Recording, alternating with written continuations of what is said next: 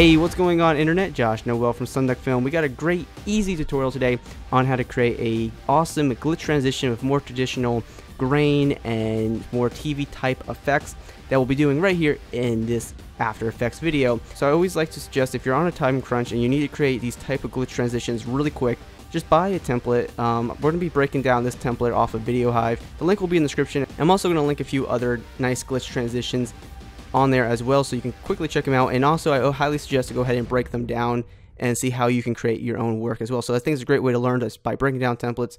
So let's get started. We have two clips in here that we're going to transition between.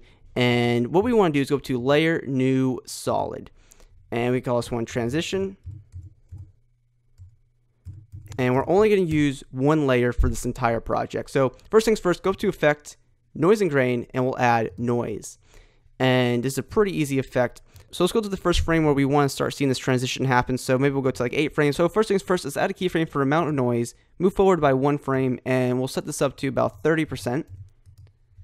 And then we'll move forward by a handful of frames here, add another keyframe right down here in the timeline. So it'll be set at 30%. And then we'll go over by one frame, set this down to 0%. And we'll move over by a couple frames, add another keyframe, and we'll set this one up to like 20-ish or 30-ish percent. And then we'll move forward by a lot of frames here and set this down to, or set this up to about 80%. And then we'll move over by one frame and we'll set this down to 0%. So now we just have some basic noise in here that we have a little bit control over and it's very random. So that's nice. Then we'll go up to Effect, Transition, and we'll add Venetian Blinds. So let's just increase the transition completion up just by a little bit so we can see what we're doing. And we're to set the direction to 90 degrees and we can come here and maybe set down the width to 6 so it's a little bit more thin. And we're starting to kind of see that nice thin lines in there. It might be a little bit hard let me turn off the first effect real quick so we can see what we're doing. And that's looking pretty decent. So now so we'll start this effect a little bit after our noise effect starts and we'll set the add a keyframe for transition completion set it down to 0% and we'll move over by one frame and we'll set this up to about probably about 20ish percent. Move over by another frame and we'll increase this even more so we're going to kind of just hand keyframe this, but we'll be able to control the transition here. So maybe we'll bring this down to 0%. And then we'll continue come over here, do like 20%, go down to 0%, maybe set another 0% keyframe. And then we'll come over here and increase this by 30%. So basically what we're doing here is we're just obviously creating a nice random amount of Venetian blinds here. Okay, so now we have our Venetian blinds going on here, and we turn our noise effect back on. So let's go ahead and add another noise effect in here to really ramp up the noise. So go back to noise and grain and add another noise effect. So we definitely want to make sure that there's a nice amount of noise between the cut here. So let's come here to maybe you know a few frames before the cut, and we'll add a keyframe for amount of noise. Go to right to the cut, and we'll increase the noise to probably about 30 40 percent, and then we'll kind of fade that off go over by 10 frames and set it back down to 0%.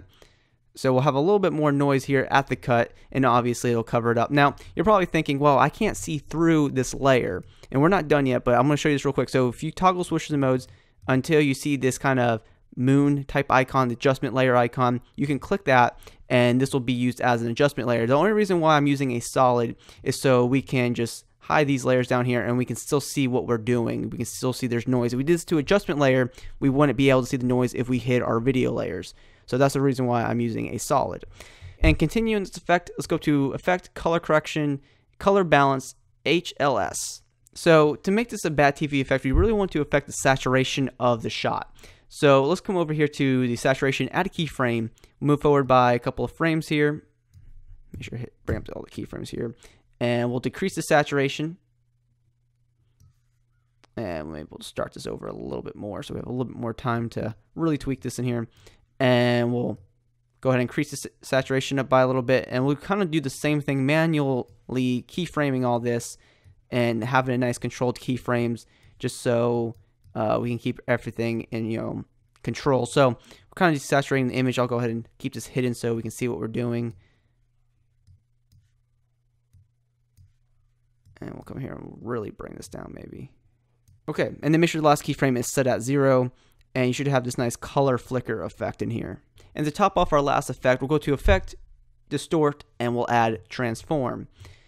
And we'll start this at maybe just a few frames before the cut, We'll add a keyframe for scale, keep it at 100, and move over by one frame, and let's increase the scale to about 300. And then we'll go past the cut just by a couple frames. We'll add a keyframe down here to keep it at 300, and then we'll lower it down to zero. Or sorry, and we'll lower it back down to 100. And we'll offset this keyframe by one frame here just so it'll kind of glitch out a little bit. And then the last thing we have to do here, open up the transform property, go to compositing options, and we'll set the effect opacity down to 40%. So now we'll kind of get this cool kind of double faded look here. We can see through it and things look really cool. So let's go ahead and render this out real quick and we'll see what we have. And with a quick preview, here's our glitch transition. We have a few nice effects in here to emulate the bad TV effect. And I hope you're able to take away a few of these techniques from this tutorial and apply it to your own projects. So if you did enjoy this video and found it helpful, please be sure to drop a like on the video and subscribe to the channel for more After Effects projects just like this. And please be sure to hit me up on my social media networks. Those links are in the description of the video. And always be creating.